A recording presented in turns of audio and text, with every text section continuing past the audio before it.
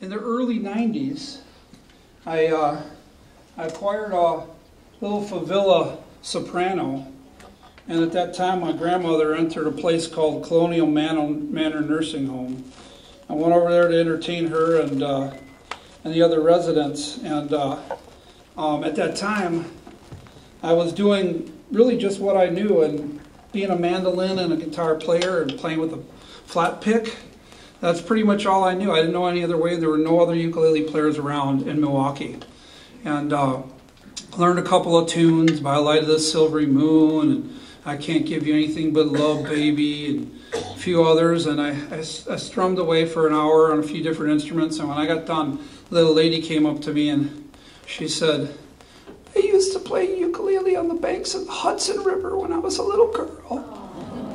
And uh, um, and she said what I initially took to be a um, criticism when she said, But we didn't play with a flat pick. and I handed her the uke and I said, How did you play? And first she, you know, was reluctant, but finally she put it in her hands and uh, and and within a few minutes she was playing five foot two and eyes of blue with her fingers and i kept hearing these fascinating sounds i was hearing and i was hearing and all kinds of cool little things, or at least semblances thereof. And, uh, and then she handed it back to me. And, and, and from that day on, I determined that I wasn't going to play ukulele with a pick, but I had already worn the top off the old Favilla, almost like Willie Nelson's guitar. I had to take it to a luthier and have a pick guard put over that hole. Um, many, many years went by, and hundreds of ukulele students came to ask me, Little Rev, what do you think of a pick? Do you ever play with a pick? And I would say it's sacrilegious. I never play with a pick. Then one day I was at the Gorge Ukulele Festival in Hood River, Oregon, and one of my dear friends and someone I revere uh, totally got up on stage, and what did he have in his hand? A flat pick. And I figured if James Hill could get away with it, so So I'm going to play a tune from Earl McDonald's uh, Louisville Jug Band from the mid 20s. This is an old time blues with good help tonight. And uh, um, where I come from, we say, one of the finest bass players in Michigan, way above union scale, Mr. Frank Youngman. and over here from St. Louis, but we forgive him for that, Mr. Sandy Weltman.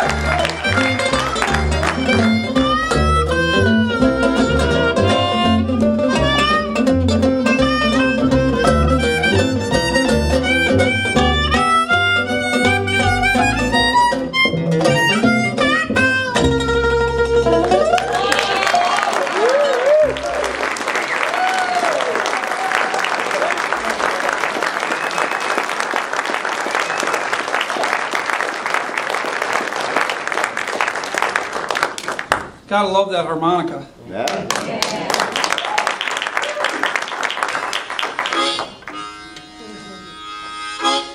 One of the things I, uh, I fell in love with with harmonica was the rhythmic side of it. Growing up hearing uh, grandfather play everything from the Red River Valley to When Irish Eyes Are Smiling.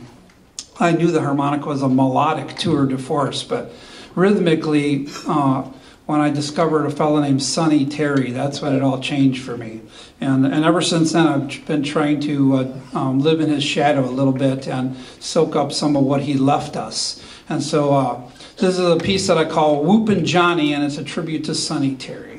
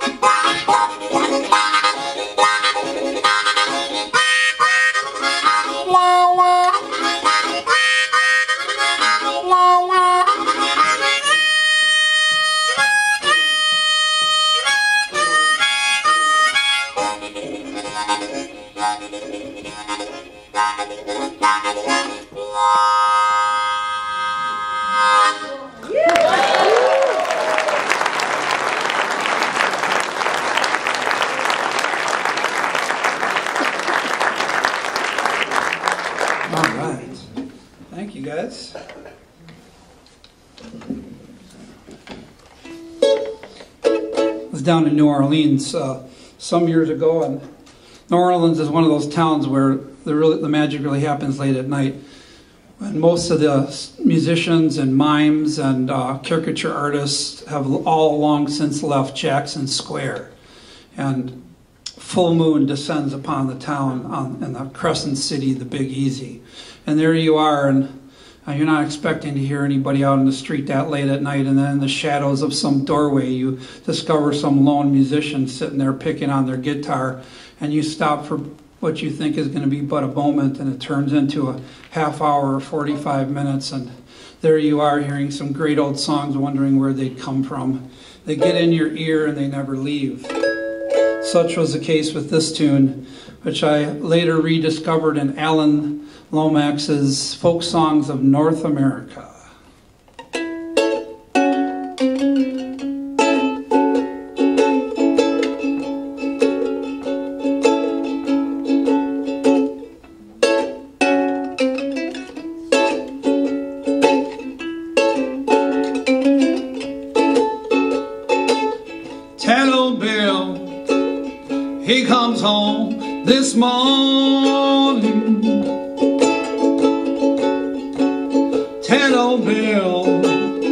He comes home this evening. Tell old Bill he comes home. Leave the downtown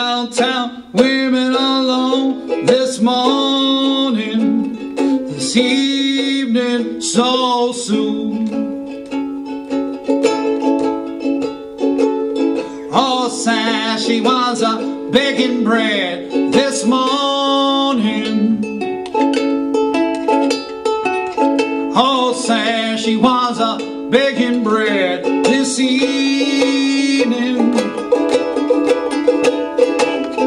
Oh, Sash, she was a baking bread when she found out Bill was dead this morning, this evening, so soon.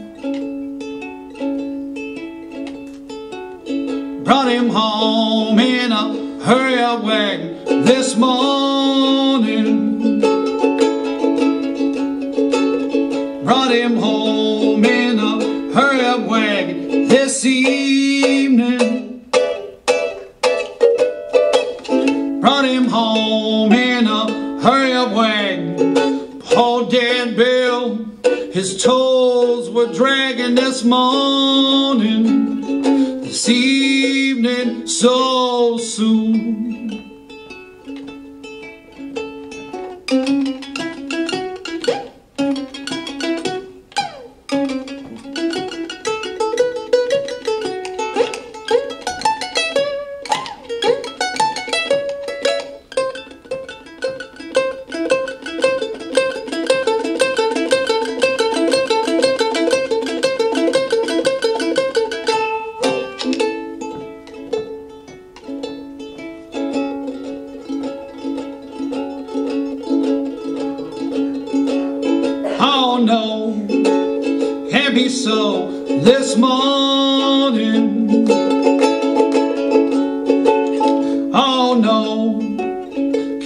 so this evening.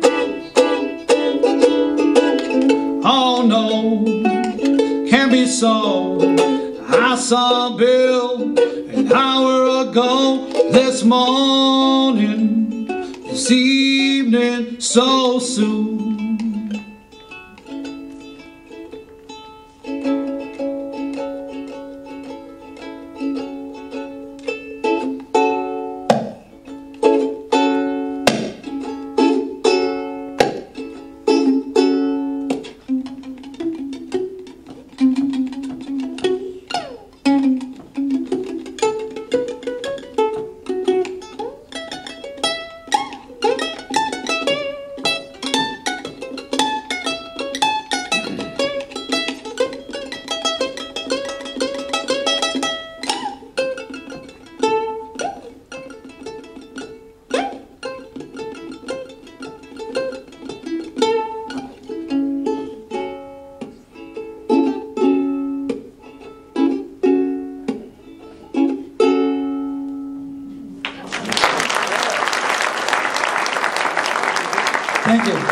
I'm going to do one last little short little tune here, and, and then my, my time is up.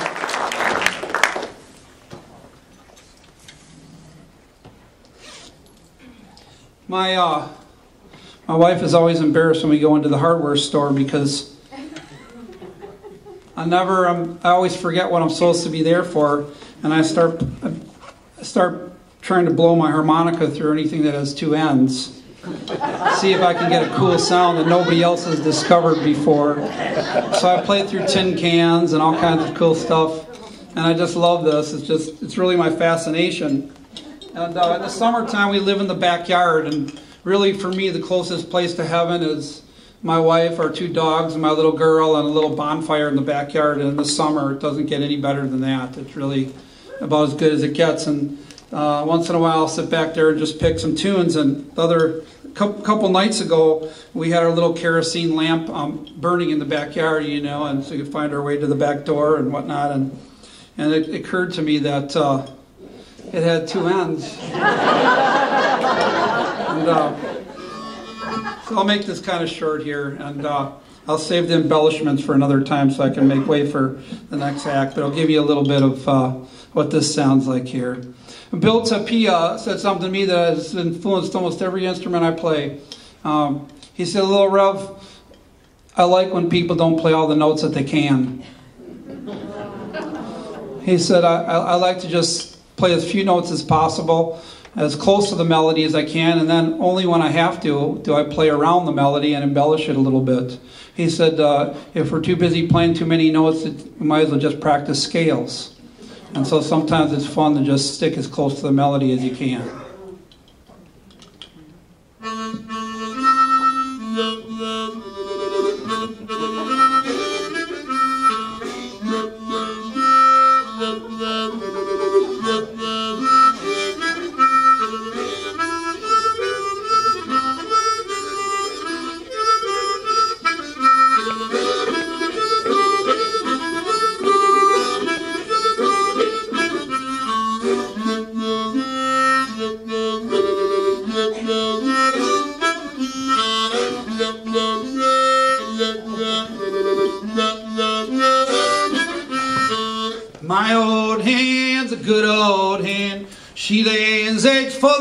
Railroad man. Sometime one, sometime two, sometime enough for the whole darn crew. Cluck old hen, cluck and sing. Ain't laid an egg since way last spring. Cluck old hen, cluck and squall. Ain't laid an egg since way last fall.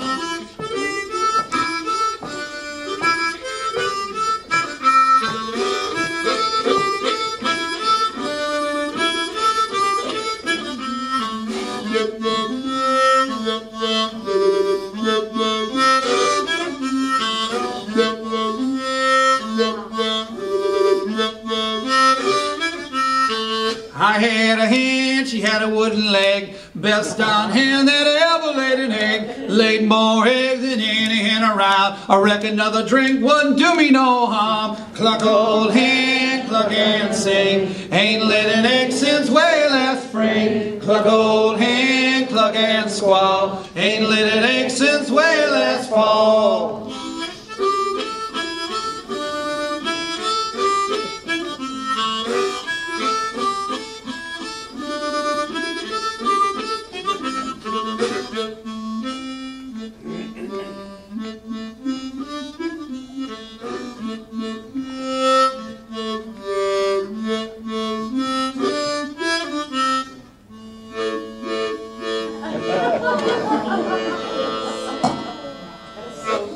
Thank you, everybody.